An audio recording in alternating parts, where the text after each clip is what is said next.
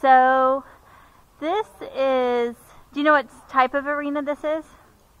Okay, so with the letters and with it being in a rectangle like this, this is called a dressage arena. Okay, so there's a couple different points. All right, so we've got the short side, which is where C is.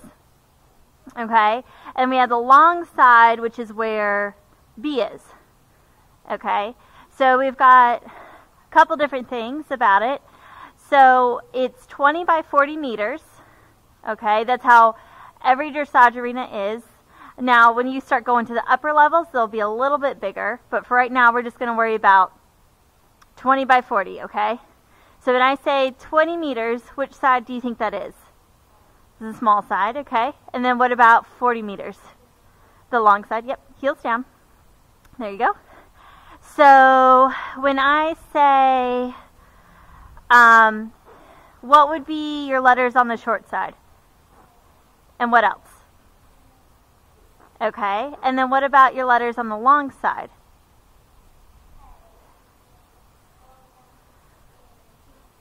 Yeah, so normally, and we don't have it, but normally there's a letter E right there. Let me go put it. Woo. So we've got the letter E, which is across from B. Okay. And then what about our corners? What four corners do we have?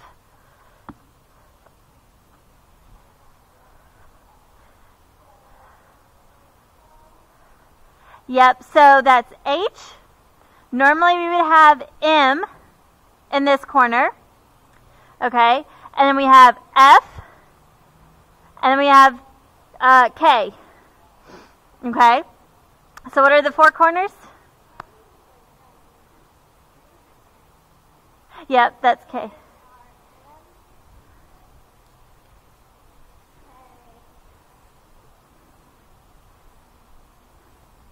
That's F and H. Yep, down there. Yep, those are our corners. Okay, so when we're on our arena, we have what's called being on the rail or being on the outside, which is where you are. It's right here. Okay, and then we have a straight line right here, which is called the quarter line. Okay, so there's one right here, and there's one over there. And then what is the line between A and C called?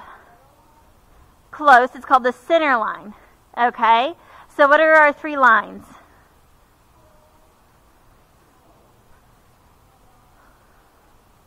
Yep, yep.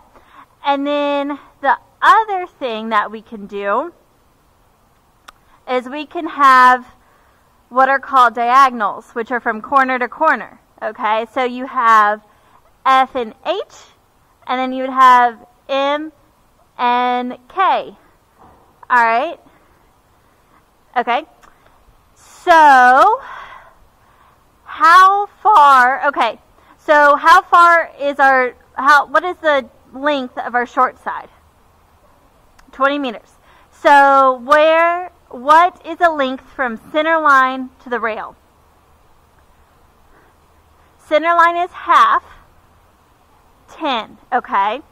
So when we say, let's do a 10 meter circle, show me what a 10 meter circle looks like. Yeah? Yeah, yeah. Good job. And keep turning. There you go. Yep. And you're going to go all the way and touch the rail. Yep, and keep turning. Very nice. So how big of that circle was that? 10 meters. All right. So at A, let me see a 20 meter circle.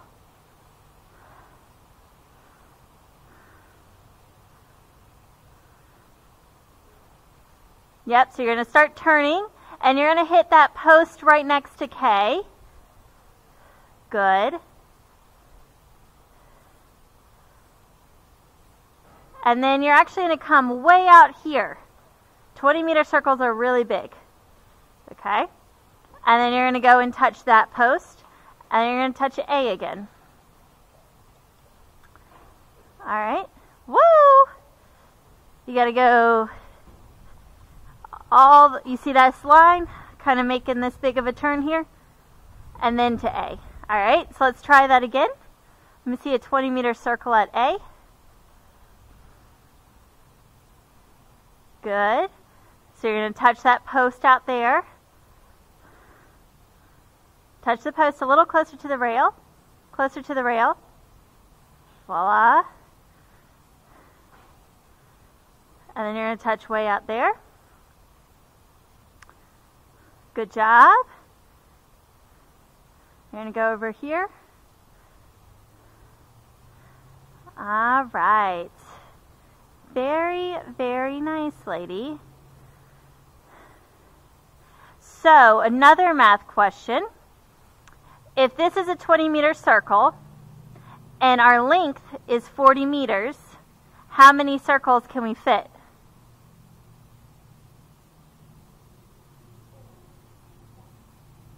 Smaller. Two, okay? So, just like A to C is halfway, B to E is halfway. Okay, so this kind of makes a T right here. So what do you think this spot right here in the middle of all this cross is called? It's called X. So yep, it's the exact center of your arena. So when you say to touch X, that's what that means. You want to touch the middle of the arena. So here at C, let's do a 20 meter circle. All right. And be sure to touch X. So it's the same exact thing like we did on the other side. There you go. Very nice. And find X.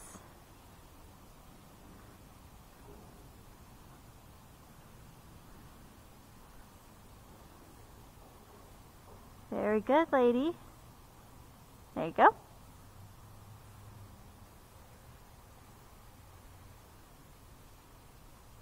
And yep.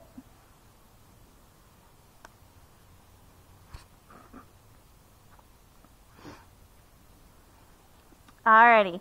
So at where our M would be, over here, let me see you go across your diagonal. Okay?